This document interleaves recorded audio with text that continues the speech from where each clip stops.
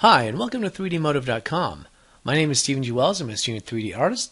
In this series, we're going to take a look at an introduction to poly painting in ZBrush. We're going to use this demon head as the model we're going to work on.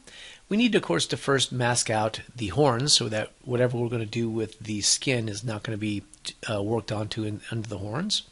We're going to lay down a basic color for the skin. We're going to make sure it looks modeled and imperfect because otherwise it looks fake.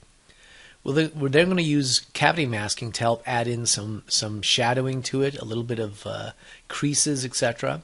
We then want to actually be very subtle with some of what we're going to add because this is just the diffuse texture we're working on right now. We do want to make sure that we add a 5 o'clock shadow onto this particular face because it is male and almost all males have whiskers of some sort. We're then going to use Spotlight to blend in a lip for the bottom and upper lip areas. We'll blend that out.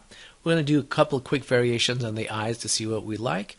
And then, of course, we're just going to darken the horns just so we have an idea of what this thing can, can look like. All right, let's get started.